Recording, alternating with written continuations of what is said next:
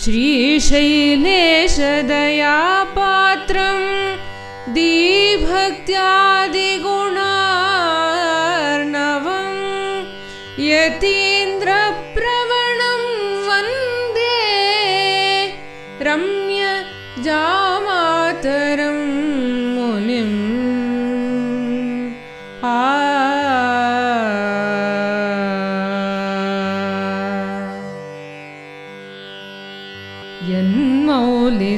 यन्मौलिस्पर्शदिव्यत्परिमलभरितां मालिकां मूर्ध्निबिभ्रत् धन्यं स्वं मन्यते श्रीनिधिरपि पुरुषस्ताममेयानुभावाम्। गोदां भक्त्याय तीक्ष्मापतिमिव सततं लालयन्तं सेवन्ते योगिनं ये हृदयकलय तानन्वहं देशिकेन्द्रान्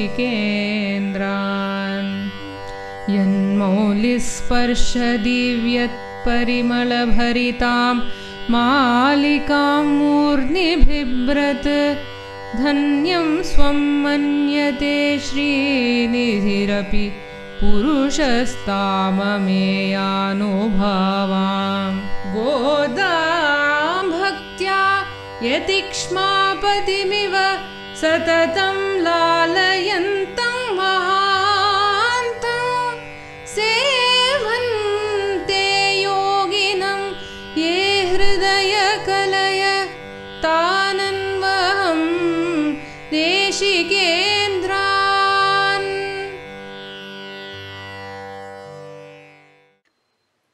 ஸ்ரீமதே ராமானுஜாய மகா ஸ்ரீமத் வரவர முனையர் மகா ஸ்ரீ வாதிபீகர மகாகுரவே மகா மணவாள மாமுனிகள் விஷயமாக அண்ணா சுவாமி அருளியிருக்கக்கூடிய வரவர முனை சதகத்துல அறுபதாவது ஸ்லோகத்துல ஆண்டாள் சூடிக்கலைந்த மாலைக்கு எம்பெருமான் வைத்திருக்கக்கூடிய பிரேமை எப்பேற்பட்டது அப்படின்னு அழகான அர்த்தம் தோற்ற ஸ்லோகம் பண்ணியிருக்கார்.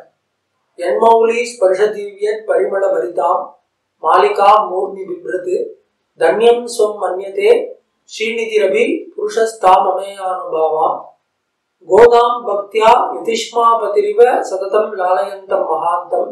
சேவந்தே யோகினம் ஏ ஹிருதய கலைய தான்பகம் தேசிகேந்திரான் என்பதாக அருமையான ஸ்லோகம்.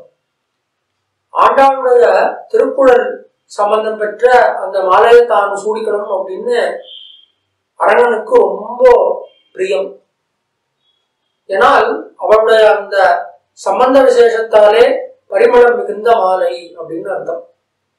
அதனால்தான் திருப்பாவையில நாம தனியன் தொடங்குறச்சையே சூடிக் கொடுத்த சுடர்மொழியே தொல்பாவை பாடியுள்ள வல்ல வல்வளையாய் நாடினி வேங்கடவருக்கு என்ன விதி என்ன இம்மாட்டம் நாங்கடவா வண்ணமே நல்கு அப்படின்னு சேவிக்கிறோம். என் மௌலி ஸ்பர்ஷ தீவியர் பரிமள பரிதாம் இந்த ஆண்டாள் நாச்சியாருடைய திருக்குறளை அடைந்ததால் மிகுந்த சௌகந்தியமான சௌகுமாரியமான பரிமளத்தை உடைய மாலை. ஆண்டாள் நாச்சியார் சூடி கலைந்த மாலையில எம்பெருமானுக்கு தான் எத்தனை பிரியம்? அதை வந்து சுவாமி திருவங்க தமிழரார் தன்னுடைய ராமானுசம் இருந்தாதியில ரொம்ப ஆச்சரியமாக தெரிவிக்கிறார். தாழ்வொன்னில்லா மறை தாழ்ந்து தலம் முழுதும் கலியே ஆழிந்த நாள் வந்து அழித்தவன் காண்பின். அரங்கரமூலி சூழ்கின்ற மாலையை சூடிக் கொடுத்தவள் தொல்லருளவன் வாழ்கின்றவள் அல்லி ராமானுசன் என்னும் மாமுனியே என்பதாக காண்கிறார். இப்பேற்பட்ட மறையினுடைய அர்த்தங்கள் எல்லாம் பிரகாசிக்கும்படியாக அதுக்கு உண்டான தாழ்ச்சி அவைதிகமான மதங்களால வேதத்துக்கு உண்டாயிருக்கக்கூடிய அந்த ஒரு குறைவானது நீங்கும்படி ஸ்பஷ்டமா திருப்பாவையிலையும் நாச்சியார் திருமொழியிலையும் வேதார்த்தங்களை எல்லாம் ஆண்டாள் சாதித்தபடியே சொல்றது இந்த இடத்துல. தலம் முழுதும் கலியே ஆழ்கின்ற நாள். இப்படி கலி வந்து மிகுந்திருக்கக்கூடிய இந்த நாளிலேயும் சுவாமி எம்பெருமானார் திருவவதாரம் பண்ணி ஆண்டாளுடைய அந்த திருப்பாவையை எப்பயும் அனுசந்தானம் பண்ணிட்டு அதனுடைய தாற்பயார்த்தங்களை எல்லாருக்கும் உபன்யசித்துட்டு வந்தாரு. எப்பேற்பட்ட அனுபவம் எம்பெருமானாருக்கு. அப்படின்னா அந்த எம்பெருமானுக்கும் இவருடைய மாலையில தான் இருக்கக்கூடிய பிரியத்தையும் சொல்றது இந்த பாட்டு. அரங்கர் மோதி சூழ்கின்ற மாலையை சூடி கொடுத்தவள் தொல்லுகிறாள் வாழ்கின்ற வள்ளல். தன்னுடைய திருமேனியில அலங்கரிக்கக்கூடிய மாலையே ஆண்டாளுடைய சம்பந்தம் உடையதாக அவளுடைய திருக்குறள் ஸ்பர்சம் பட்டதாக இந்த ஸ்லோகத்துல சொல்றாரு இல்லையா? என்மௌலி ஸ்பர்ஷ தீவியன் பரிமள பரிதாம் மாலிகாம் மூர்த்தி விப்ரது தன்யம் சொல் மன்யத்தே அப்படின்னு சொல்ற பிரகாரம் சாட்சாத்து பெரிய பெருமாளே அந்த சூடி கொடுத்த மாலையை தனக்கு ரொம்ப உகந்ததாக தான் சாதிக்கிறார். அதே சுவாமி அனந்தாழ்வானும் தான் அருளி செய்த கோதா ஸ்லோகியில தெரிவிக்கிறச்ச யாராலையும் ஜெயிக்க முடியாத எம்பெருமான் வந்து தன்னுடைய மாலையாக கட்டினவள் அப்படின்னு ரொம்ப அழகா எடுக்கிறார். வார்த்தா மாலையில கூட ரொம்ப இந்த சௌரபியத்துக்கெல்லாம் எம்பெருமான் கட்டுப்படுறது எப்படி அப்படின்னா ஒரு பெரிய சக்கரவர்த்தியானவன் அந்த புறத்திலே மகிழ்ச்சியால் வாழையால் கட்டுண்டா போலே காணும் அப்படின்னு பின்பதிக பெருமாள்ஜியர் வார்த்தா மாலையில நமக்கு காண்பிக்கிறார். சுவாமி அனந்தாழ்வான் சோச்சிஷ்ட மாலிகா பந்த கந்தபந்து ரதிஷ்ணுவே விஷ்ணு சித்த தனோஜாயே கோதாயே நித்தியமங்கலம் அப்படின்னு மங்களாசாசனத்தை பண்ணியிருக்கார். இப்படி சகலவிதமான பூர்வர்களாலேயும் அனுசந்திக்கப்பட்ட பெருமையை உடைய ஆண்டாள் நாச்சியார். அந்த ஆண்டாள் நாச்சியார் சூடி களைந்த மாலையில எம்பெருமானுக்கு இருக்கக்கூடிய பிரியம் அதைத்தான் எம்மௌலி ஸ்பர்ஷ தீவியது என்கிற பதத்தால காண்கிறார் அப்பேற்பட்ட அந்த திருமாலையை மூர்த்தி பிபிரத்து தன்னுடைய திருமேனியில எம்பெருமான் சாத்திக்கிறான்.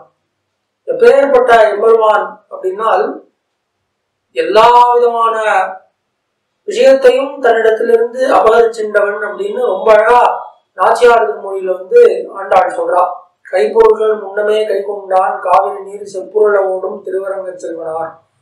எப்பொருக்கும் நின்று ஆர்க்கும் எய்தாது நான்மறையின் சொற்பொருளா என்னான் என் மெய்ப்பொருளும் கொண்டானே.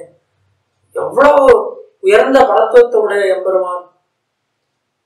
எந்த விதமான வேத வேதாந்தங்களும் ரிஷிகளும் எத்தனை தூரம் தேடினாலும் கிடைக்காதவனா இருக்கிற எம்பெருமான் அவாப்த சமஸ்த காமனா இருக்கிறவன்.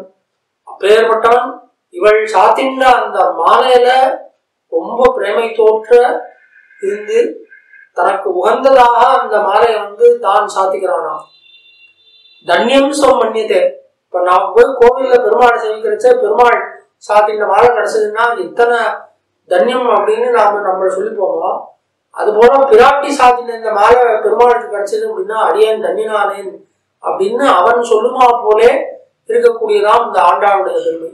தன்யம் சொம் மன்னியதே ஸ்ரீநிதி ரபி பெரியபிராட்டிக்கு நாயகனா இருக்கிற எதுலையுமே ஆசை இல்லாத பெருமான் அவாப்த சமஸ்தகாமன் இந்த மான பிரசாதத்தால தன்யம் சொம் அப்படின்னு தன்னையே பரம தன்யனாக பவிக்கிறான் அப்படின்னா எவ்வளவு பெருமை ஆண்டாளுடையது.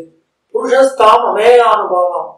ஒப்பில்லாத பெருமையை உடைய அந்த எம்பெருமான் இப்படி தன்னை தன்யனாக கொள்றானே அப்பேற்பட்ட ஆண்டாள் அந்த ஆண்டாள எம்பெருமானார் எப்படி சீராட்டி கோவில் அண்ணன் ஆண்டாளுக்கே அண்ணனாக இருந்தாரோ அதுபோல மனவாள மாமனிகளும் சீராட்டி பக்தி பண்ணினாராமே ஆண்டாள் இடத்துல அதான் பிரத்யமா காண்பிக்கிறார். முன்னாடி வந்து கூட சோனி பாலமுகை சம்யமி சோனி பாலமுகை ஸ்ததன்ய விமுகை ராஸ்வாத்தியதே சாதனம் அப்படின்னு சொன்னார். இங்க பிரத்யமா அந்த அர்த்தத்தை வந்து நமக்கு அண்ணா சுவாமி காண்பிக்கிறார். கோதாம் பக்தியா யதிஷ்மாபதிரிவ சததம் லாலயந்தம் மகாந்தம். போற்றி எம்பெருமானார் சீராட்டி பக்தி பண்ணினார் போலே பரவாள மாமுனிகள் ஆண்டாள் நாச்சியார் இடத்துல பேர்பட்ட பிரேம பக்தியோட இருக்காரு. சததம் லாலயந்தம் மகாந்தம் அப்படின்னு. இப்பேற்பட்ட ஜீயர். இவரை யார் யாரெல்லாம் சேவிக்கிறார்களோ அவள் எல்லாத்தையும் தான் சேவிப்பதாக ஸ்லோகம் பண்ணியிருக்கார். சேவம் துங்கிய ஹிருதய கலைய அன்பகம். அப்படின்னு இங்க கடைசி வாக்கியத்துல சொல்ற பிரகாரம் பெயர்பட்ட ஆச்சாரியர்கள் மரவாள மாமுனிகளை ஆறாரெல்லாம் சேவிக்கிறார்களோ ஆசிரிக்கிறார்களோ அவ அத்தனை பேரையும் தான் சேவிப்பதாக அன்பகம் தேசிகேந்திரான் அப்படின்னு இந்த ஸ்லோகம் அமையுது அடுத்து வரக்கூடிய ஸ்லோகத்துல மதுரகவி ஆழ்வாருக்கும் பிரவாடமாவன்களுக்கும் உண்டாயிருக்கக்கூடிய சம்பந்தத்தை தெரிவிக்கிறார். அதை அனுபவிப்போம் மாறு என்பதாக அமைகிறேன். ஆழ்வார் எம்பெருமானார் ஜீயர் திருவடிகளே சரணம்